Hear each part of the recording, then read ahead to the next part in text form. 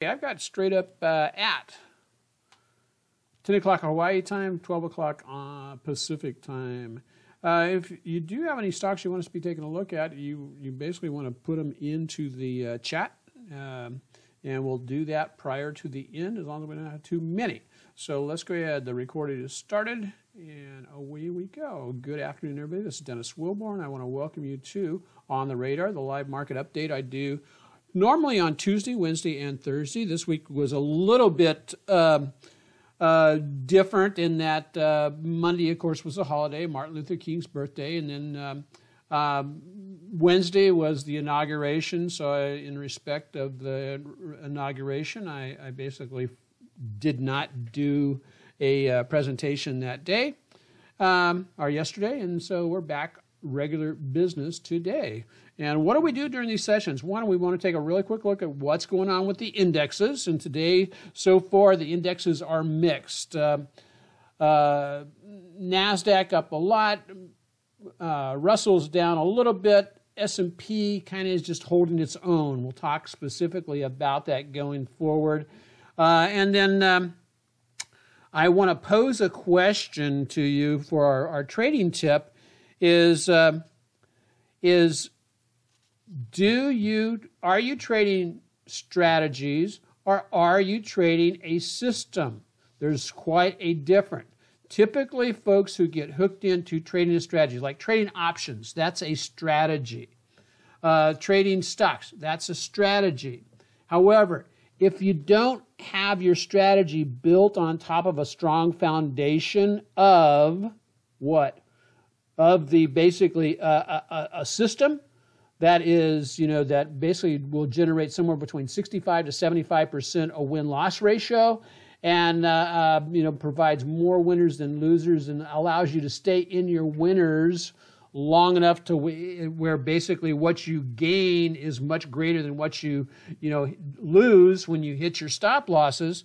Then uh, that is um, uh, then you're setting yourself up for problems and trouble going forward because uh, uh, strategies based on no systems will lead to huge losses because you haven't accounted for it. So again, if you're interested in a system, you can check us out at Active Trend Trading. We run a very good system uh, that is basically both tested and proven over the years. 75% uh, win loss ratio. Last year we did a, uh, right at 70% for our trading. That was trading both stocks and options. And I don't stay in the market all the time because I have other things to do. I am not a day trader. I am a swing trader. There is a huge difference. And so, hey Paula, how you doing? Nice to see you uh, joining us. Um, so let's go ahead and look at what's going on with the the uh, the indexes. So I want to basically take a look at the spiders first. There we go. What is the spider showing us? And I basically I've drawn in this little parallel channel as it moves on up. The S&P is up slightly for today. Uh, we've had a really good, nice bounce. Here's where Friday, it ended up Friday. Monday, or Tuesday here, Wednesday, a nice rebound, now, but it's back up but towards the top of the channel. That normally is an indication that that we could be in line in the very near future for at least a pullback into the moving averages. One of the other things I want to take a look at is what moving average, in other words, what levels is price action respecting? And as you can see, price action is respecting either the 20 and when I say respecting, what I'm talking about is price action pulls back and it either stops or goes slightly below and then pops back up.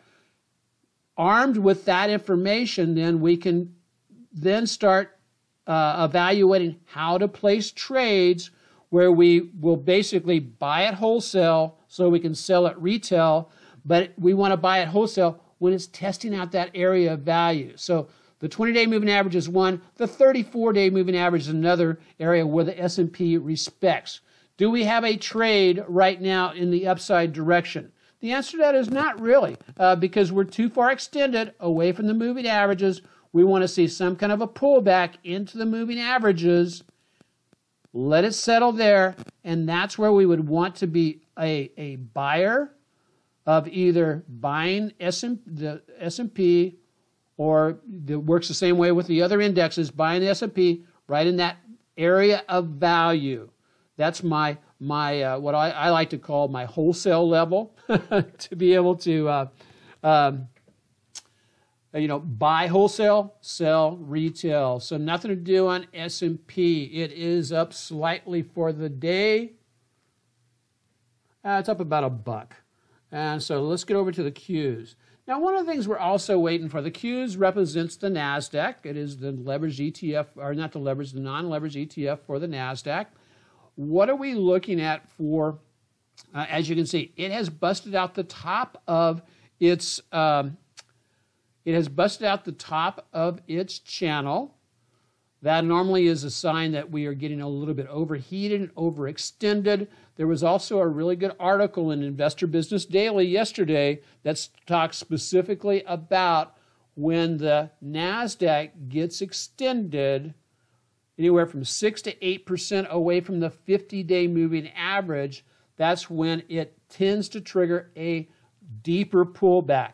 Now, nothing here is saying, hey, let's get short NASDAQ. We have no reversal signals on a daily, a weekly uh, chart. However, it is extended. I would anticipate, and one of the things that I also like to take a look at, and I'll just throw this up here as a, that's why I use the Fibonacci's. Typically, price action will move in one, two, three, you know, like in this case, one, two, three, four, five days up, one, two, three days up, and now it's gone up one, two, three days up. Oftentimes it will have a rhythm to it where if it's you know on this one of these tracks where it's running up three days or up five days then you can anticipate a potential pullback um, uh, and so what that also tells us is that if i'm at the fourth day of a run up it's a time when i definitely don't want to necessarily be buying because i'm extended. Now, one of the things I like to do with my Fibonacci's, I like to say, okay, if I'm going to, uh, it's another way to figure out how far I am or, or how close I am to hitting the potential stops on the move up, and is it remaining, maintaining symmetry? So I take this move up here from this 305 level, about there, up to this swing high here, back to the swing low. Now the, the the dark line right there means I've it has reached and, and hit the symmetry of this move up from 305 up to yeah, 320, 319. We've exceeded that on this next move up. The next target where we could potentially see some turnaround is up here at the 127, uh, 127 Fibonacci extension that's a natural place where we'd expect, okay, that's where prices could run into issues and start to drop back down. Can it blow on through that? Certainly can. But those are key points of hidden resistance where prices may stop and then if they show weakness or show stalling in the in the particular candlesticks, we'll look for it to fall back down. Good stuff. And so at this point, again, no specific trades on the NASDAQ, and the, oh, the other thing I wanted to, to indicate is that at per IBD, we are currently about, and they use the, the simple moving average, I use the, uh, uh, um, the exponential moving average. It shows that I'm about 6.37% above the um, uh, 50 day moving average, which is the golden line right there. And so, yeah, it's ripe for a pullback. We just don't see it yet. It hasn't happened yet. So then let's jump on down to the IWM, which is the Russell, uh, the, the uh, uh, ETF for the Russell.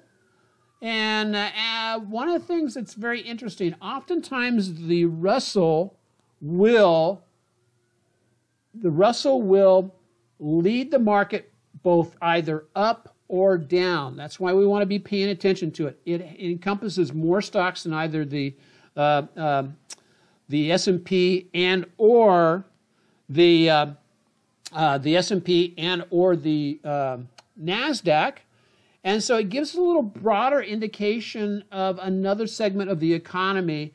And if it starts to weaken and look for a, you know, we could look for a deeper pullback, or or it will oftentimes lead the market if it goes into a correction. So just keep that in mind. Anything to do right now? Not really. If price action stays where it is, we will have a spinning top followed by a bearish, and this is called a bearish engulfing pattern, which is a, uh, a reversal signal to the downside.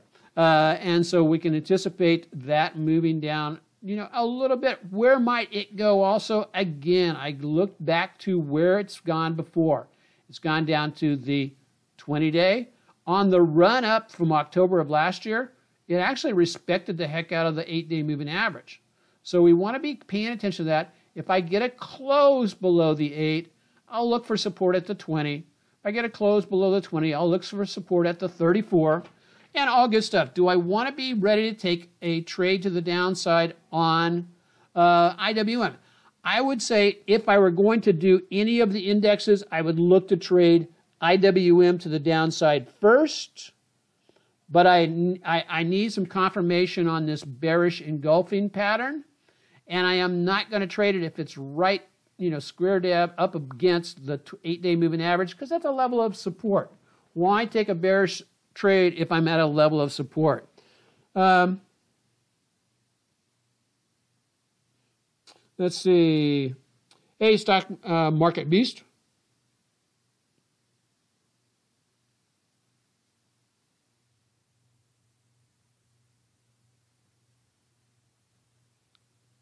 I'm using OBS. Uh, if I, I, think that's what you're what you're asking. Yeah, I use OBS to basically set it up where I can do uh, uh, the Instagram feed like that. Uh, great question. If you want to uh, DM me and, and uh, or send me a note, you can do that also. That's cool. And let's see, any other. So again, uh, guys, if you have a stock you want me to take a look at prior to the end, we're coming up to the end here in about three minutes. Uh, just let me know. Here's one of the things that one of my I would call it my technical tips. One of the things that um, I wish they would have, you know, I got started trading back in 19, 1991, 92 time frame. So that's, that's a while. That's a while ago. That's about uh, 30 years ago. Um, back when I had to download my data for my chart charts, uh, and I could only afford to download like data for like, you know, 50 different symbols and how things have definitely changed. It's insane. But uh, uh, and it's so much simpler now. But the one thing that I really, the advent of uh, ETFs for the indexes, uh, you know, back about, it's that's been going on about 15, 20 years now that they've had those.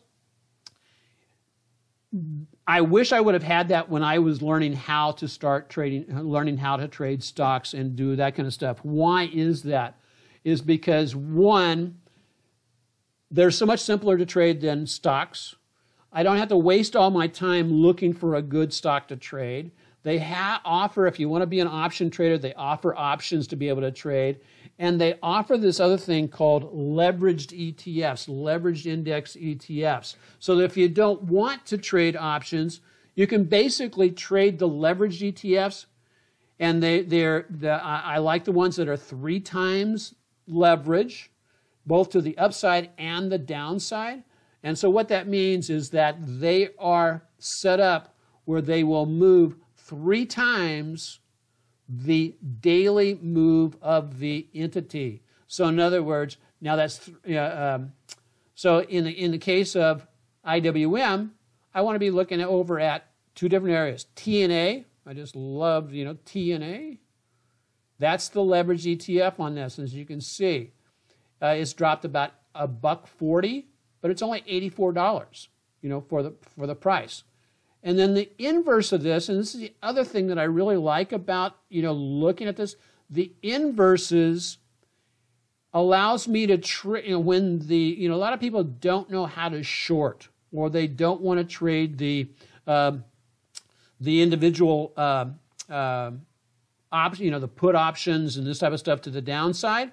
So what the leverage, the inverse leverage ETF allows you to do is when the Russell is falling from the sky, I can actually run around and grab the uh, TZA and actually trade it to the upside. So it's going, you know, our minds, our mindset is set to where, oh, okay, as long as it's going up and to the left, that's up and to the right, that's good.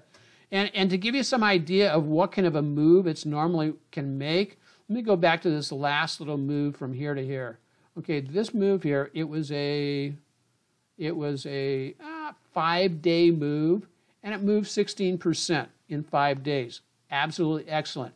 If I roll it back a little bit, as you can see last year, this move at the beginning of 2020 where the market fell into a swoon, uh, this move here, oh, you don't want to know how much it was. It was, it was a little bit over 200%.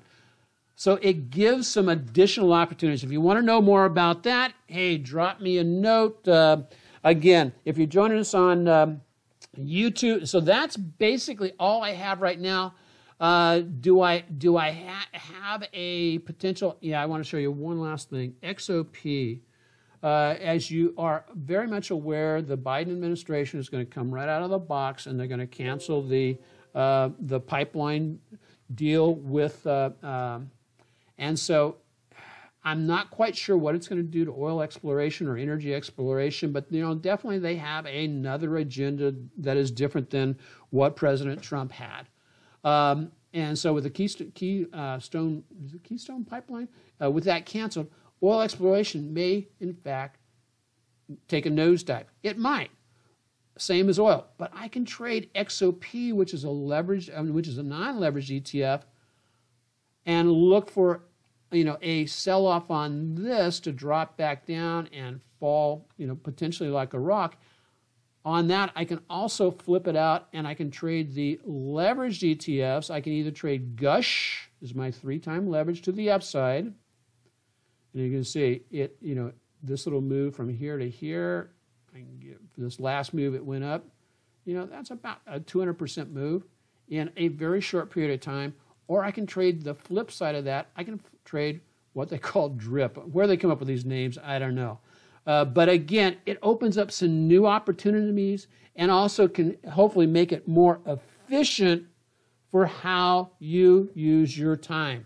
Because uh, at, at, Active Trend Trading, our model, my model is basically I want to basically provide a clear and simple trading system that allows busy people to basically uh, maximize their profits while minimizing their risk but doing it, uh, and for a lot of our, our folks who trade with us, they basically spend an hour on Sunday to set up their trades, and then they fire and forget and let the trades come for them. You know, what a great way to be patient and also uh, uh, in line with the market. So, hey, that's all I've got. Hey, do you, anybody have a stock that they want me to take a look at? La la la. If you can, if you do, just type it into the uh, going once, going twice. If you found today's session really, uh, really helpful, let me know about that. Drop me a note. And also, if you're watching this on YouTube uh, and you're not a subscriber on YouTube, hey, hit the subscribe button, uh, hit the uh, bell so you'll be notified of new content. And now that uh, we're back in gear, expect the on the radars to be to hit you every Tuesday, Wednesday, and Thursday, unless there's a holiday, at 12 noon Pacific. So, with no further ado, I'll basically say aloha. God bless everybody. Have a great rest of your day. See ya.